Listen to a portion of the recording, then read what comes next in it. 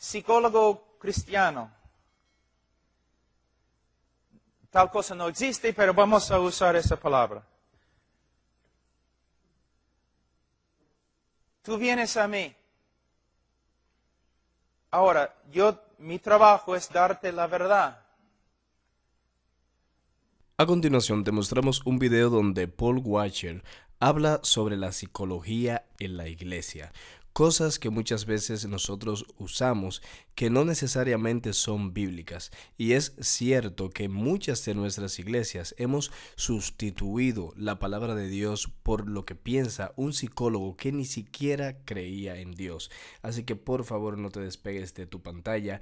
Antes de continuar con el video quiero pedirte que nos apoyes con un me gusta, ya que de esta manera YouTube recomienda nuestros videos a más personas. También recuerda que subo videos todos los días, te pido que te suscribas si no lo has hecho y que actives la campanita. Ahora sí amigos, vamos a continuar. Solamente un ratito voy a enseñarles algo acerca de la psicología.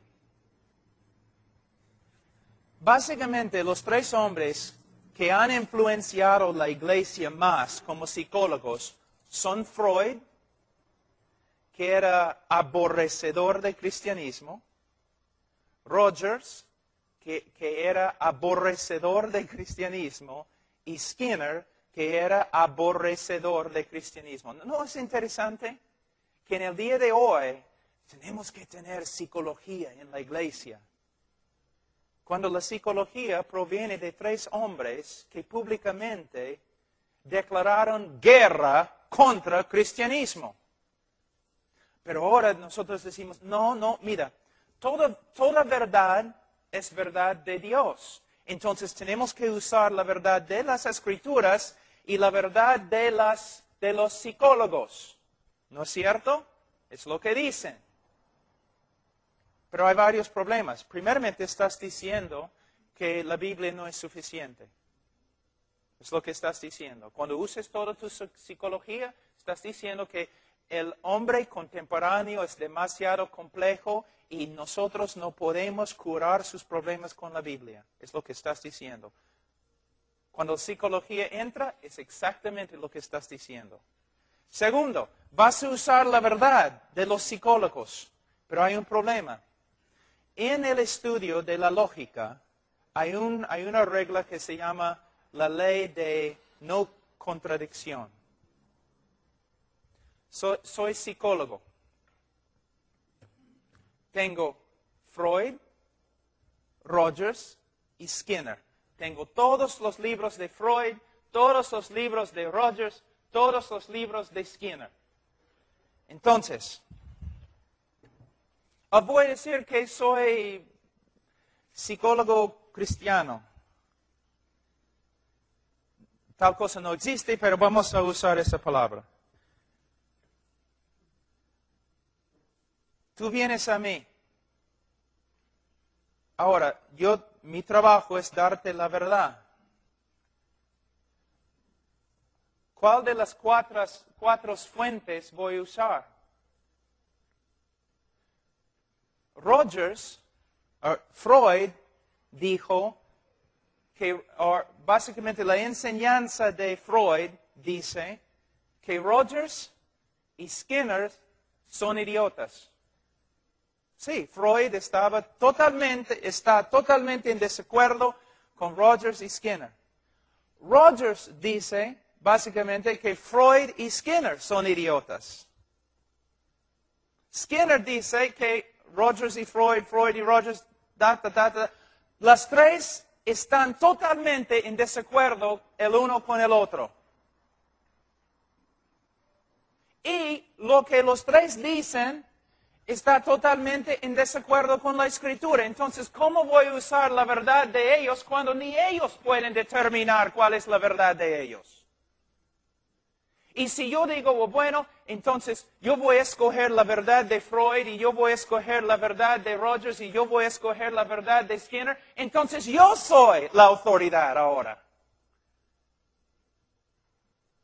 Lo que tienes que entender es que los tres hombres que han influenciado la iglesia, los tres aborrecieron la iglesia aborrecieron cristianismo y declararon guerra contra cristianismo. ¿Y ahora vas a usar casi todo lo que ellos dicen para ayudar a los hombres?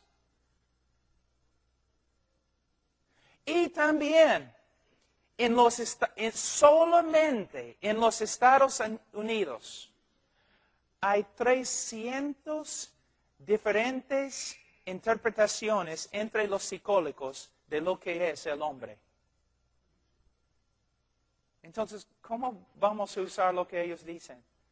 Hasta una revista muy popular en Estados Unidos, secular, dijo una vez, psicología o brujería. ¿Por qué? Aunque se dice ciencia social, social, el problema es no es ciencia, porque sus teorías no se basan en hechos, sino en opiniones y filosofías y teorías. Y la psicología, los temas, los, teorías mayores de psicología cambian casi cada tres años. ¿Voy a usar psicología? No. Voy a usar la escritura. Nada más. Nada más. De la psicología ha venido todas, muchas de las maldades que están en la iglesia han venido de la psicología. Psicología cristiana.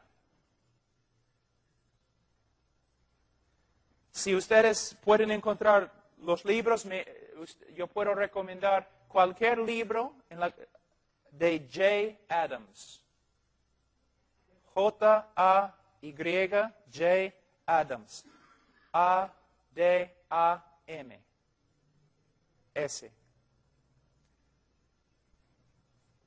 Nosotros tenemos una Biblia y la Biblia es suficiente para curar al hombre que se arrepiente y cree. El hombre solo tiene un problema, es el pecado. otro ejemplo que ya hemos usado, mira cómo interpretamos la Biblia a través de la psicología. Cristo dice que tenemos que amar a nuestro prójimo como a nosotros mismos. Y nosotros, por medio de la psicología, era una idea de Rogers y Skinner que uno no puede amar a otro a menos que primero se ame a sí mismo. Entonces nosotros, eso es lo que nosotros ahora usamos las palabras de Jesús, pero no es lo que Jesús está diciendo. Jesús está diciendo básicamente, tú ya te amas y te amas demasiado. Y si quieres saber el estándar que debes usar, por favor, ama a tu prójimo como ya te amas a ti mismo. El hombre que comete suicidio no es porque tiene bajo autoestima. Él tiene una estima bien alta. Él se estima a sí mismo más que a todos, más que a Dios. Él dice, Dios, no te voy a escuchar, yo voy a matarme, aunque tú dices que no. Yo me estimo y estimo mi opinión más que, más que tuya. Yo estimo a, mí más que a mi esposa, porque cuando muero ella va a sufrir tanto, pero yo me estimo a mí más que a ella. Y yo estimo a mí más que a, mis hijos que van a sufrir. Yo me estimo más que a mis amigos que van a sufrir. El problema del pecador no es una baja autoestima. El problema del pecador es que tiene una alta autoestima. Y necesita arrepentirse. Muchos de ustedes están pensando, ese Pablo está lleno de rencor y odio y todo, odia a todo el mundo. Pero hermanos, nada de eso existió en, en cristianismo. Todas esas cosas que estamos enseñando en el día de hoy, muchas de esas cosas no son de la Biblia interpretamos la Biblia a través de nuestra cultura y nuestras ideas mundanas. Dinos qué te ha parecido este video. Déjalo aquí en los comentarios, por favor. Dinos qué piensa. La iglesia debería de usar estas psicologías que se están utilizando últimamente o solo debemos aferrarnos a la palabra de Dios? De seguro que sí. La palabra de Dios debe ser nuestra arma. La palabra de Dios debe ser nuestra ancla. La palabra de Dios debe ser nuestro norte a seguir. Debe ser aquello que nos aconseja en los momentos difíciles, pues recordemos que la misma Biblia dice que esta nos sirve para redarguir, para reprender, para exhortar con toda paciencia y doctrina. O no necesitamos más que la palabra de Dios y al Señor siempre y cuando estamos hablando en términos eclesiásticos. Así que amigos, muchas gracias por haber visto este video. Regálanos un me gusta, recuerda que nos apoyas enormemente haciéndolo, suscribiéndote y activando la campanita. Nos vemos en una próxima. Contamos contigo.